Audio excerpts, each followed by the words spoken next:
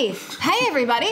We're live. Come on in, come on into the fold. Right. Uh, so, this is very exciting. I have taken a little break from Facebook Live because I really wanted to refocus my interviews on being a vegan. And Vegan Nation is the new interview series that I have, still as a part of my celebrity dinner party with Elysabeth Alfano. So, today's first guest on the Vegan Nation specific interview series is Ethan Brown. Thank you so much for having me. It's a great honor to be here. And it is a thrill to have you here. In case you don't know, Ethan Brown, he is the CEO, founder, creator, fabulous innovator of Beyond Meat. Thank you. So, uh, first, tell us what is Beyond Meat? And I'm going to say, Someone give me Beyond Meat so I can reach it.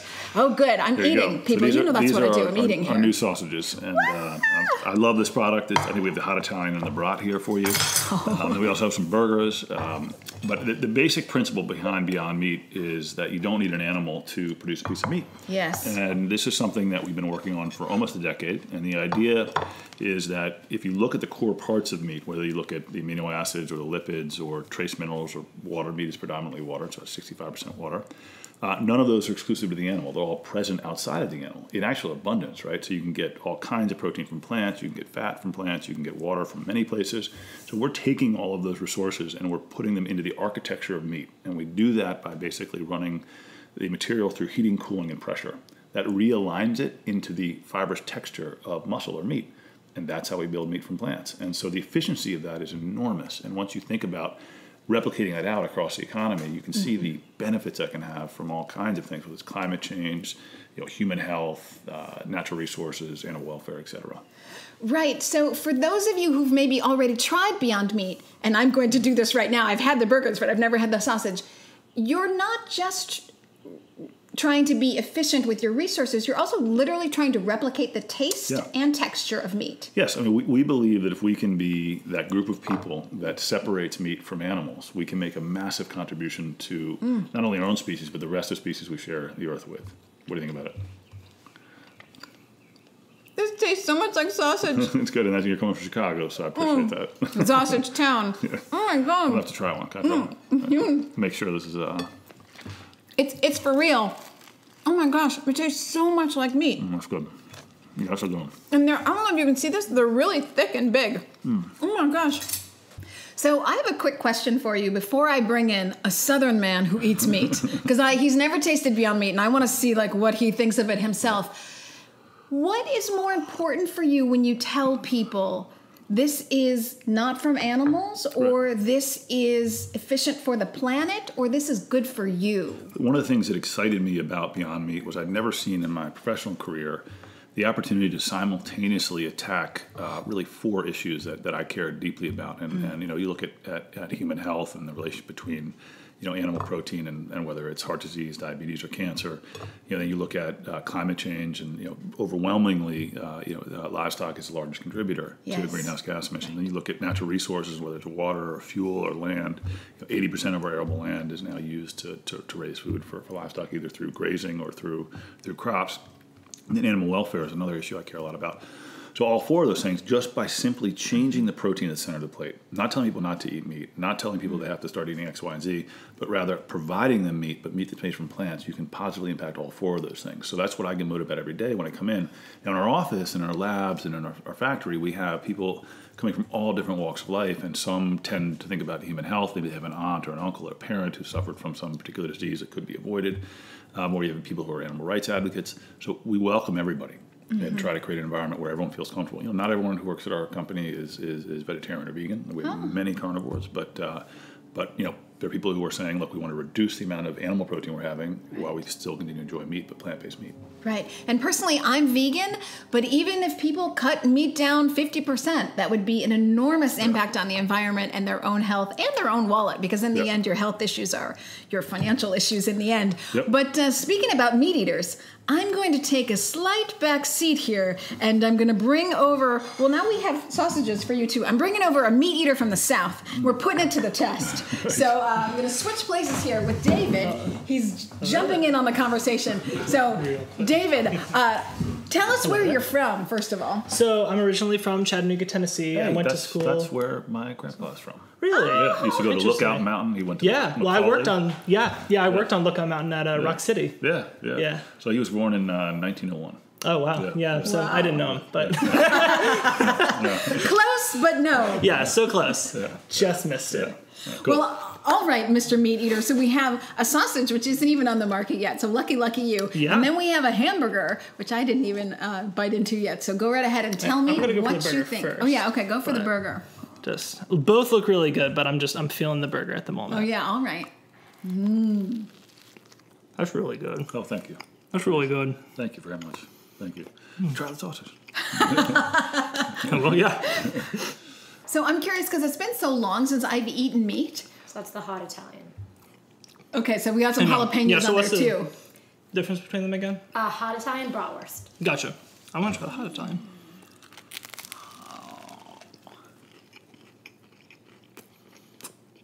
That's really good. Thank That's you. what Yeah, that's good, right? I'm. I'm big on the spicier Yeah. stuff. So Yeah, no, it's nice. What's cool about these is too, once you start to get the basic platform done for creating that fibrous texture of meat through through plants, you can start to use other sources of protein. So this has Mm-hmm. different proteins in it. It has Oh. they both share in common uh, pea protein, but this also has fava bean protein and some other things um, that we rice protein Mm-hmm. that I want to start introducing in greater volume into our product. So the consumer. You know, my hope is that someday the consumer will be able to go to the meat case and they'll be able to one day have a sausage made from all lentil protein, the next day Yeah. from camelina protein, the next day Oh, from wow. lupin protein, et cetera. So their body's getting all these diverse proteins uh, from different plant feedstocks.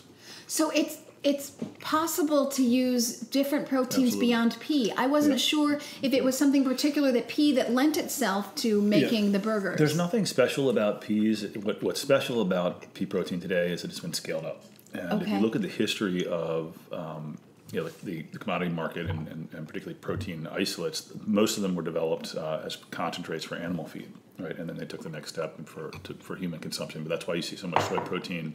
That's why you see so much um, um, uh, other forms of concentrated protein. But in the case of um, uh, pea protein, it was largely scaled up for starch. People were using peas for starch, right? thought, yeah. And so this derivative stream of protein coming out of peas. They said, well, hey, let's monetize this. So they created businesses around that. But if you start from you know first principles first, and you say, okay, we're going to start using these fields and these plants for protein for direct human consumption through animal uh, through plant-based meat, then you say, okay, what are the most efficient ways to grow that? And you start looking at the crops that are most efficient. And it's amazing how many there are that have really interesting sources of protein.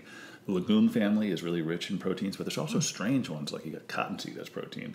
You know, tobacco. leaf- Interesting. I wouldn't suggest you use it, but tobacco. Yeah. tobacco leaf has protein in it, right? So, the, so That's once, really once, yeah, once you start to say, okay, well, I'm not going to dedicate these fields to feeding animals. I'm going to dedicate them to growing protein for human consumption. Mm-hmm.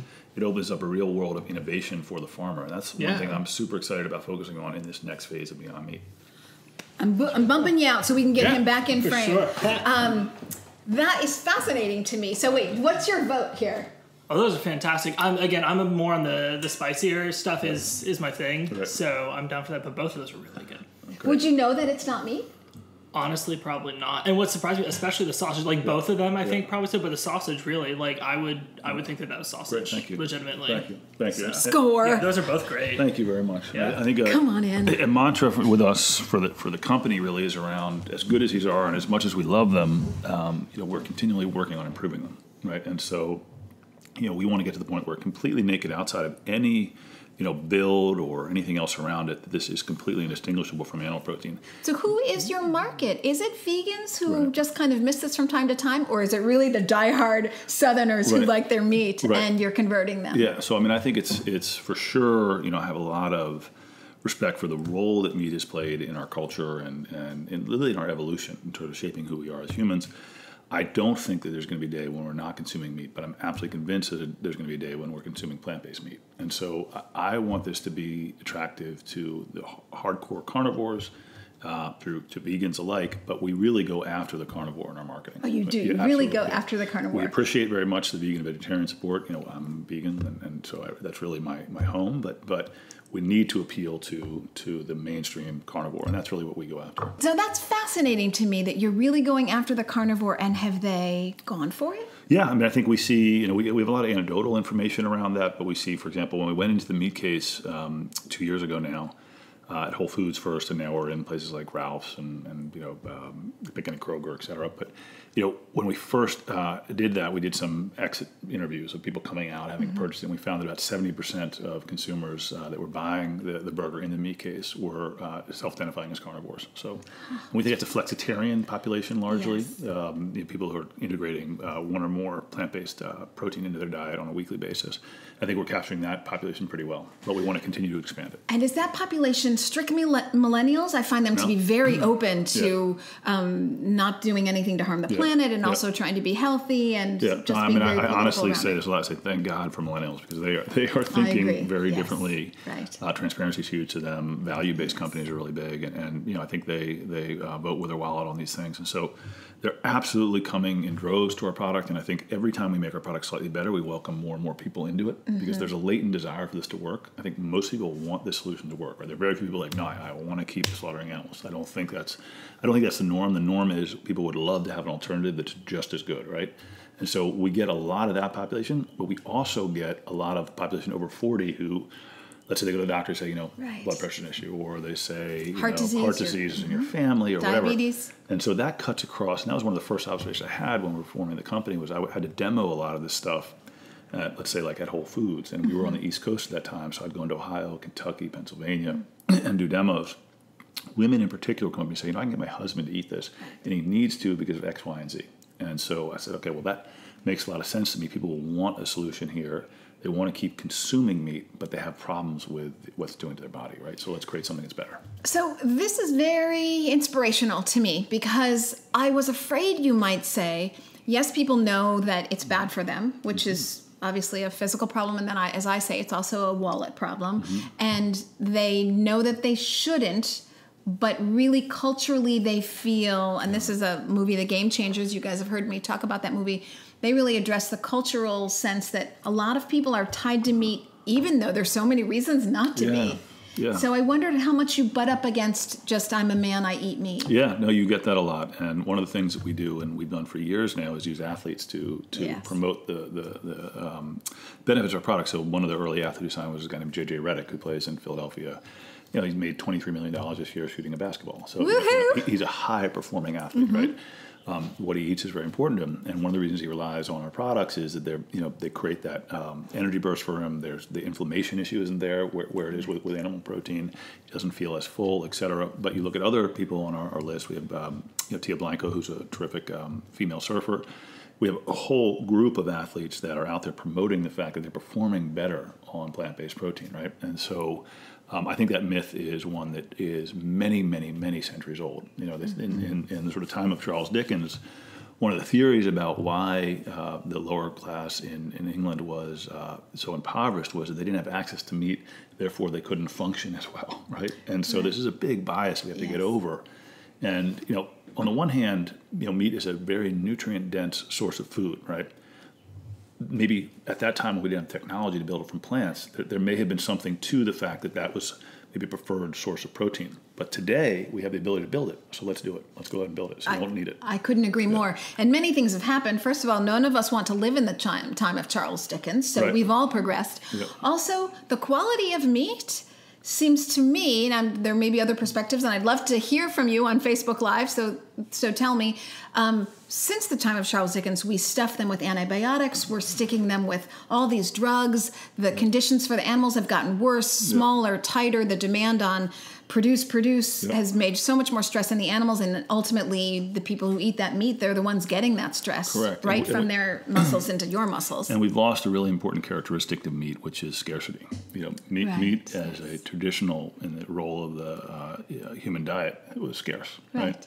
And it was a rarity. You had yeah. it maybe once a week. Yeah, and so when you turn this into something that's now every day and ubiquitous, and maybe even three times a day, has a profoundly different impact on the body. That's right, on the body and on the planet. Yeah. I think uh, the statistic is there are 7 billion people on the planet and we kill 70 billion animals. Yeah, the a proportions the proportions are staggering. are staggering. And the amount of waste from the animal itself, because it's really not an efficient use of protein resources, et cetera, but then how much we waste of the animal. Yeah. And when you're talking about bacon and donuts and whiskey and, you know, not to mention lunch, breakfast, lunch, and dinner Yeah. supersized, Yeah. you got to think like, okay, when is This- going to stop. Yeah. Well, when is it going to stop and when is it going to explode? Yeah.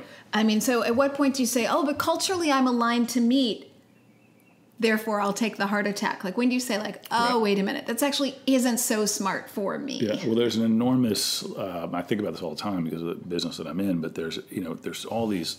If you think about switching from, let's say, a landline to a mobile phone, Hmm. there's very little emotional issue with that, right? I mean, people don't defend the landline. You know, you know, they don't. No. But but Right. you know, in the case of meat, it becomes very personal very quickly when you talk to someone. You say, "Look, I have a better source of meat for you. It's this sausage. It tastes great. You know, it doesn't give you any sorts of you know nitrates or anything like that." Still, it's like there's something emotional about giving up the sausage that I had. And I think if you look at you know, whether it's religion, you know, where there's an mm. enormous connection to animals and you know religious holidays and the mm. Genesis and, and all these things. You look mm. at you know culture with you know Thanksgiving and Yes. you know the holidays and the Easter lamb and all that. So we have a lot to sort of unwind about how we mm-hmm. think about ourselves relative to other species on the planet. And I hope that it can start with providing people with an alternative where it's not hard, where it's just Right. absolutely easy to do. Yes, right. Uh, and and that's one of the things that I love is that you call it meat. You Yeah, still you call it meat. You have to, yeah, So yeah, it's yeah. it's plant based meat, but it's Yeah. still meat, and Yeah. you call it because technically it is. Is that Yeah, what you're mean, saying, or the- you call it because it tastes like meat? No, no, we, I really feel strongly about this. So the Cattlemen's Association has, uh, has sort of petitioned saying that they'd rather that we, we didn't use the word meat. In fact, are asking the government to stop. petitioned you? Cattlemen's Association. Yeah. The Cattlemen's us, but the- Association. but the government. All right. And so, you know, I'd take issue with that because I feel that, you know, if you if you are insisting that meat come from, let's say, a chicken, cow, or pig, you know, you're really constrained in terms of the number of solutions you can can can provide and, and, and what kind of impact you have in the world. If you shift your thinking just slightly and think about meat in terms of composition, those four things I talked about, whether it's amino acids, lipids, trace minerals, or water, if we deliver all of those things and we deliver them the same architecture as animal protein or meat, right? We literally follow the blueprint, put them together in the same way. It's the same experience for the consumer. They have all the same benefits. I'd be hard pressed not to call that meat. Mm-hmm. And what have they said to this? Because I'm curious about the backlash, if there is any. Yeah, I mean, there's just concern. I mean, th- their argument, which I, I don't think is sound, is that it's confusing to the consumer, and I'm pretty certain that the consumer can understand what plant-based meat is. We have mm-hmm. faith in the consumer. Yeah. Yes, and they are guiding you. The consumer, absolutely. We listen day in and day out to the consumer. Our um, uh, MO at the company is to release new products every year, get the feedback from the consumers. You'll see things that are reflective of consumer behavior in this. So, for example, there's no soy, there's no wheat. Yeah, that's literally from listening to the consumer, right? And so we say we're going to keep those out of our product, right? No soy, no wheat. I was going to ask you why there was no soy. Yeah, it, there's. I mean, we've never had wheat because my dad has celiac, and I've always wanted him to be able to enjoy the products. But but we've also stayed true to that because the consumer has said, you know, we're overwhelmed with the amount of wheat we're consuming in our diet. We feel there's too much soy in our diet, et cetera. You know, and whether valid or not, the consumer is speaking, and we have to listen. I love that. I love that. And you know who else is speaking that I wouldn't have thought is that one of your investors is Tyson. Yeah. So if you doubt for some reason, if you're a meat eater and you're thinking like, oh well, these these two people are non-meat eaters, so they're kind of always going to be biased for it. Tyson, big investor. Why is that? So yeah, we began talking in 2012. believe it Or not, yeah. Um, and it was when when uh, we started our conversation with Hillshire, which was then acquired by by Tyson. And, and there's some really forward-thinking executives both in in Hillshire and also in Tyson that you know see this as a common mission to serve the the world uh, sustainably with protein, right? And it's remarkable how open uh, they can be around the concept of, of where that protein comes from. And so love that. If you look at you know China and its escalating meat consumption, you know you look at what could potentially happen in India and Africa, et cetera, as as affluence um, gains there. Um, we need to have a different solution. I think they're aware of that, and so you know we have we have the Humane Society's investor and we have Tyson investor, and I think that's the appropriate way to approach this because it's not a us versus them. We don't have time for that, right? This is a how do we work together to try to bring a solution to market that people are going to clamor for. Not they're going to feel obligated. We're not telling them to you know put on a sweater or ride a bus to deal with you know uh, energy issues. What we're telling them is that we're creating something that's better. Just in the same vein as Tesla saying, "I'm creating a really sexy car you're going to want." We're trying to create products here that people really desire, right, and don't feel obligated to have.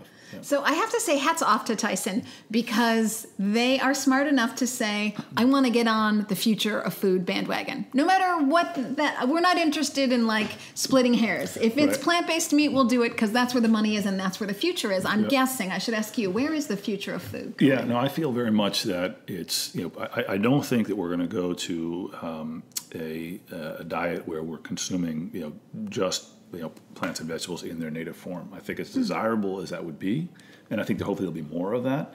I think we are acclimated to meat as a as a source of protein.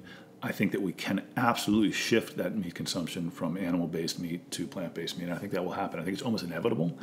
And you know what has always shocked me, even before I got into the field, was you know I came out of the alternative energy sector where the company I was with, great company, uh, Proton Exchange Membrane Fuel Cell Company, spent a billion dollars developing fuel cells, had investment in public markets, et cetera, uh, from Ford and the like. And you know that's an important solution is creating you know emission-free vehicles, for example. But what if you create a more sustainable source of meat for the center of the plate? How big would that be? So why not spend a billion? Why not spend ten million dollars doing that?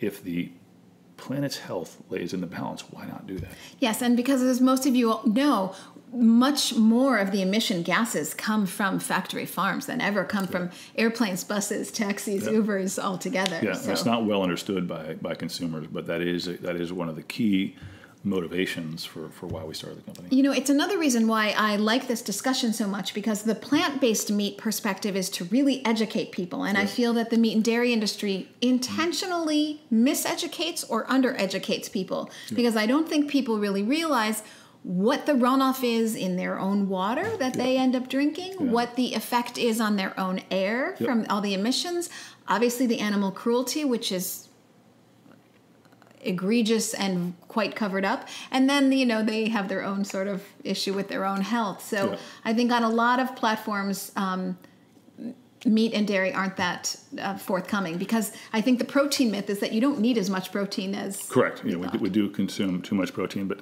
on that question of transparency, uh, Biz Stone and Ev Williams from, from Twitter are some of our investors. And years ago, uh, I can remember Biz talking about wanting to put uh, you know cameras throughout our facility so that people could see at any time Right. how their food is being made. Yeah. And I love that idea. Yeah, me Uh, too. and and you know, we would ask, can others do that? And obviously they can't, right? And so we They- really feel open and don't have anything to hide. they can they won't They won't, right? they won't We right still have customers. Yeah, yes, right, right. Uh, you're talking about the meat and dairy industry. Okay, well, I just want to make sure that I get to a couple questions. Yeah, we do have one question from Diana who asked for Ethan. What was the biggest challenge for you? Uh, what did you face when creating this idea and starting this company? What was the biggest challenge? Did you find any challenges um, with there being people you worked with to get this company started since it was meat years? Right. I mean, I think I think the the challenges were somewhat routine in, in starting a, a new business. I mean, tr- trying to you know, there's a, there's a there's a, a great saying that entrepreneurs uh, tell the truth in advance, and and you have to believe so you have to believe so strongly in what you're doing, and others will sort of doubt it, right? But you have to have arrived at that point, and so. You know, I there was other products in the market, but I, my idea and, and the, the motivation of the company was to really actually try to build a piece of meat directly from plants, not to mimic meat, not to mm-hmm. make a soybean behave in some way or you know put enough sauce on it, but to to literally understand the fundamental structure of meat and then rebuild it. And that's kind of a at the time was a strange idea mm-hmm. and and one that required people to sort of buy in, right? And and you know when you I spent my own money first and and you then ran out of it, right? And so you run into those kind of obstacles, but thank God we got some really important people to believe in this, and, and really you know started not only with the friends and family, but uh, Kleiner Perkins invested very early. A guy named Ray Lane and Amol Deshpande, and, and Ray is with me today, and he's probably my most significant business mentor. Uh, but you know, he said, yeah, "I believe in what you're going to do. We're going to fund it," and he's stuck with me through the thick and thin. And since then, we've added an amazing board. But but uh, surrounding yourself with people that share your vision is probably one of the most important things you can do. Because you can, if you have that, you can go get the resources. Right, right. And uh, Bill Gates jumped on board He pretty did, yeah. quickly, didn't Yeah, he? he did, he did. And what was the reasoning for him?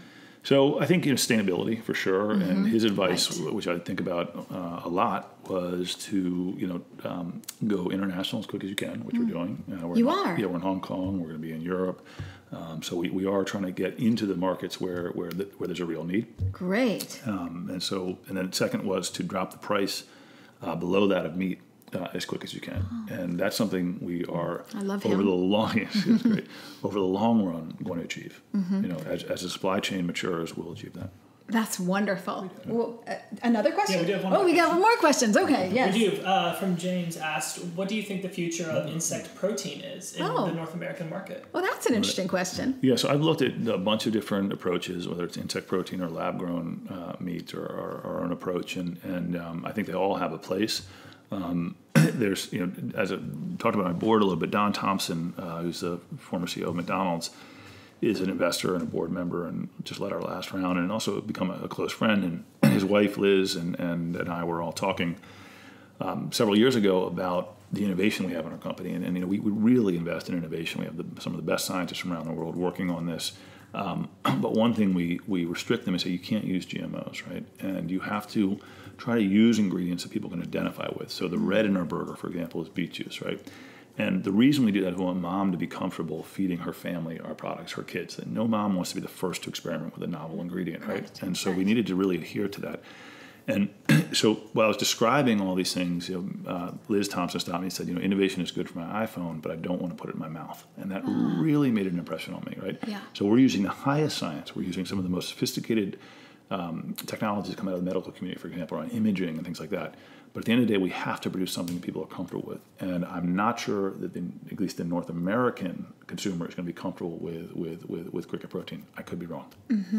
Interesting. Even though cricket protein would be natural. It would be natural, but is there a sort of cultural issue that you have to get around? to eating bugs. But I'm certainly not, you know, uh, uh, I mean, I'm very focused on my solution, I think. Yes, Yeah. yes, yes, yes. Um, well, so I would love a couple of tips for anybody trying to go vegan, or if you're maybe already plant based, but you're trying to go vegan beyond food. Any lifestyle tips and any diet tips? Sure. No, uh, on on on lifestyle uh, beyond food um, for being uh, male.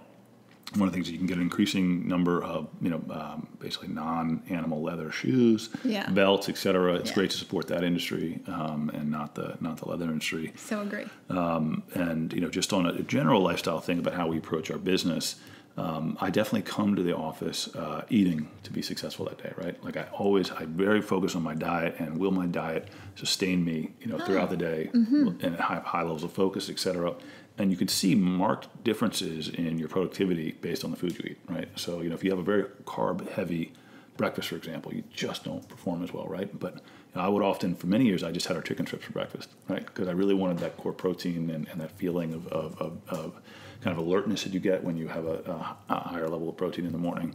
Um, so I, I, when people are interviewing with me, I always say, you know, approach the, the day like it's a game, you know, like in the sense of like an athletic event, like, you know, have you, you gotten your rest? Have you eaten properly? You know, so you can get through and you can be intense throughout the workday. And I always try to give that advice to people because, you know, this is all we got is your time. Right. And so, you know, build your day around functioning at a high level as possible. I love this that we would all kind of organize our day like an athlete does. Yeah, you really yeah. think about your performance Yeah. through the day Yeah. and how food. It's funny for the longest time I feel like we've had a disconnect about what food does to our bodies and what food is there to do for us. And I think for a long time we were thinking, oh, it's just I've I've got a taste for something, uh-huh. almost like an addiction for something. I just want to feed that addiction rather than sustain myself. Yeah, We've gotten yeah. away from that. So I love that that we I think love, like I love the work that, that is going on between the microbiome and the brain and, and what's Yeah. what's the connection between the two and, and they're finding all kinds of solutions to things or at least contributing factors to things like Alzheimer's and, Right. and others. And even even I, I think about kids and, and learning struggles they have and you know, could you